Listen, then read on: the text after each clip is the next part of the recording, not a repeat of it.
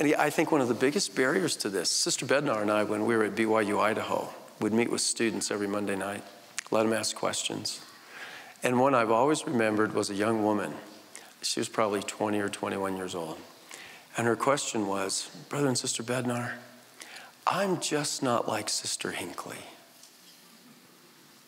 Well, duh. and so my first response to her was, Well, how old are you? And she said, I'm 20 years old. I said, Well, Sister Hinckley's almost 90. She should be 70 years ahead of you, and you probably shouldn't be a whole lot like her.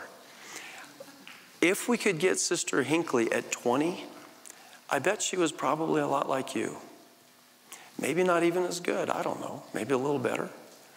But what you see in Sister Hinckley is 70 years of line upon line, assessing the gap. Here's what I need to do. Here's how I sustain it. Yeah, now I can see the gap again. It's, it's different, but it's still there. She's been doing that for 70 years. She ought to be ahead of you. I think there's a lot to learn from not locking in on the wrong object of comparison. He'll let us know how we're doing. You're not going to find out by comparing yourself to somebody else.